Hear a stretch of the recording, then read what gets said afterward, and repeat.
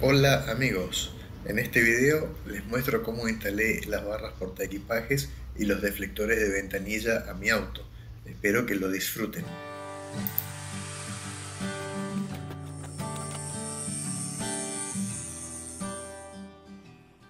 Las barras las compré por internet.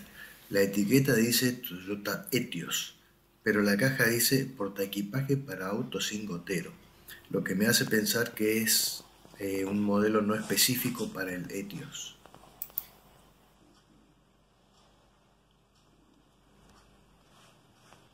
Dentro de la caja encontramos las barras, los apoyos, las tapitas y las instrucciones.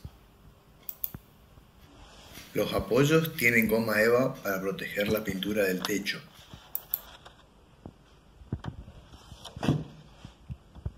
Para empezar la colocación, el techo tiene que estar limpio, así no se raya nada con la tierra.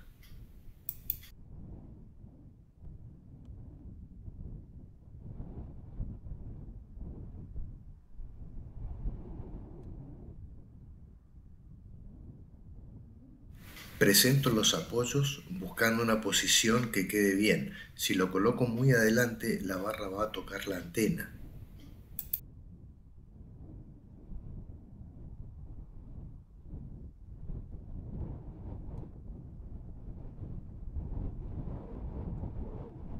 Del lado de atrás no se puede colocar muy retrasado porque el borde se va ensanchando y el apoyo quedaría desalineado.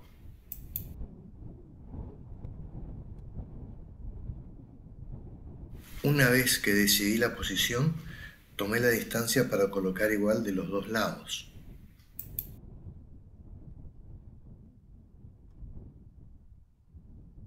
Las barras tienen dos lados. En uno la pata se puede regular con tornillos y el otro es para hacer el ajuste final.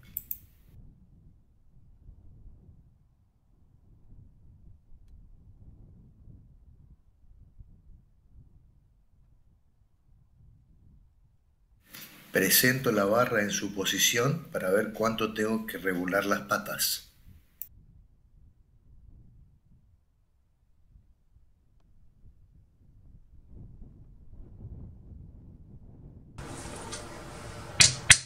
Para regular se aflojan los dos bulones, se mueve la pata y se vuelven a ajustar los bulones.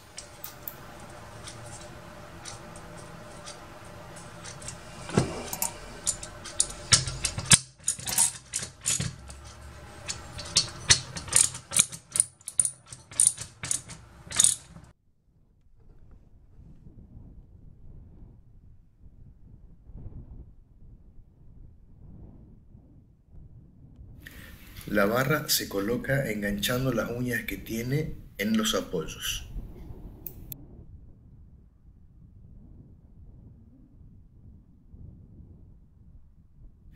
Vuelvo a medir para asegurarme que nada se movió. Luego se ajusta firmemente en sentido antihorario.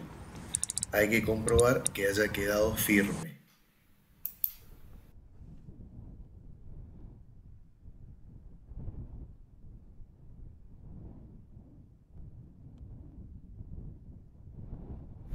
Se repite todo el proceso para colocar las barras traseras.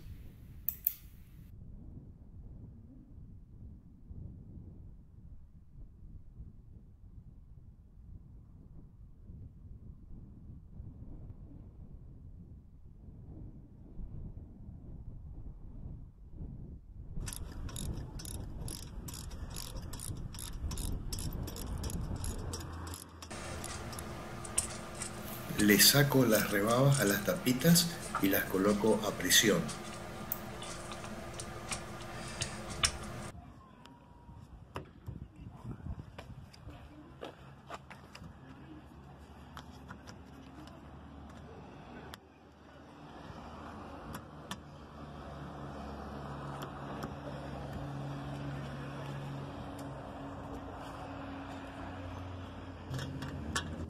Finalmente, ajusto firmemente los bulones de las patas.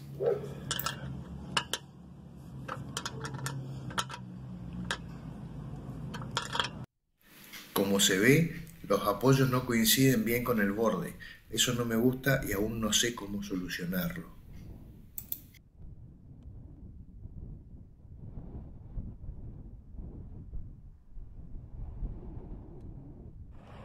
Bueno, de esta manera quedan instaladas las barras portaequipajes.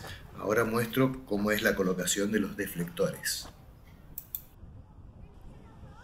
Los deflectores también los compré por internet.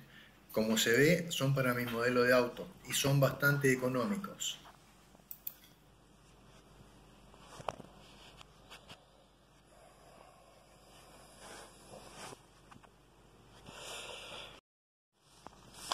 Trae unas instrucciones que son muy sencillas.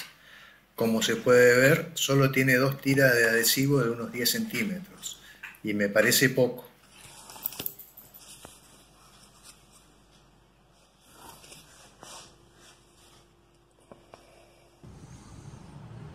Antes de colocarlo, los pruebo para ver cómo quedan y si se cierra bien el vidrio.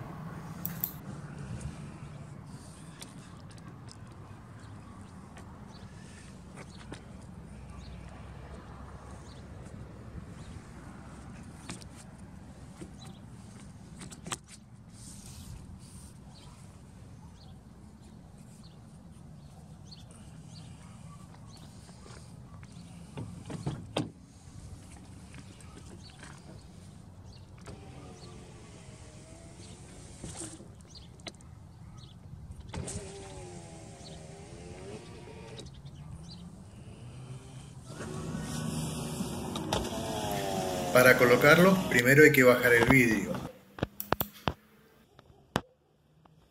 Se retiran las protecciones del adhesivo.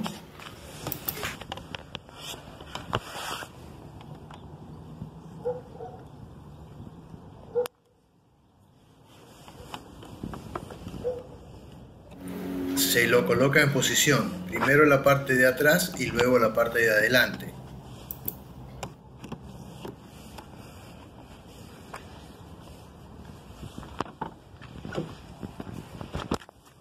Una vez que están colocados, se levanta el vidrio a tope y hay que dejarlo así por 8 horas para que se pegue bien el adhesivo.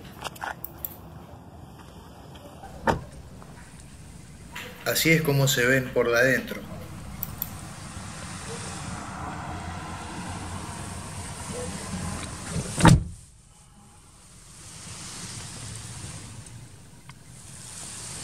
Por afuera quedan bastante discretos, me gustan.